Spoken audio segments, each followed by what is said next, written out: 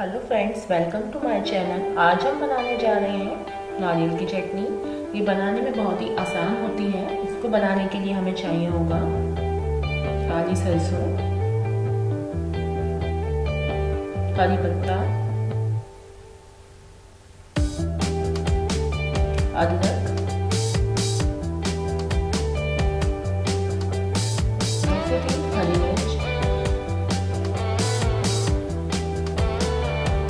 एक dry coconut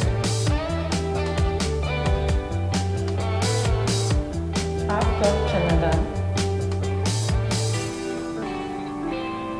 one teaspoon इमली का पल वेजिटेबल ऑयल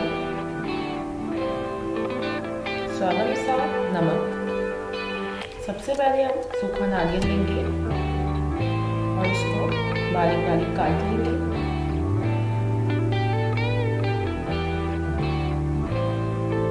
एक तवा लेंगे इस पर हम दाल को हल्का सा रोस्ट कर लेंगे।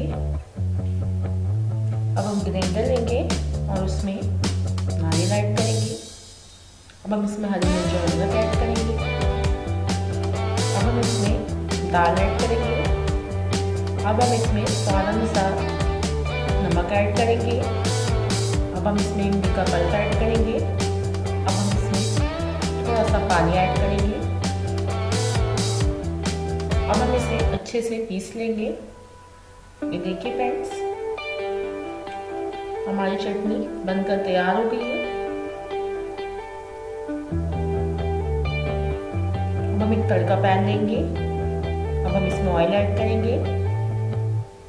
अब हम इसमें काली सरसों ऐड करेंगे। अब हम इसमें करी पत्ता ऐड करेंगे। ये हमारा तड़का तैयार हो गया है। इसे हम चटनी अगर आपको हमारी रेसिपी पसंद आई हो तो हमारे चैनल को लाइक कीजिए, शेयर कीजिए, सब्सक्राइब कीजिए। Thanks for watching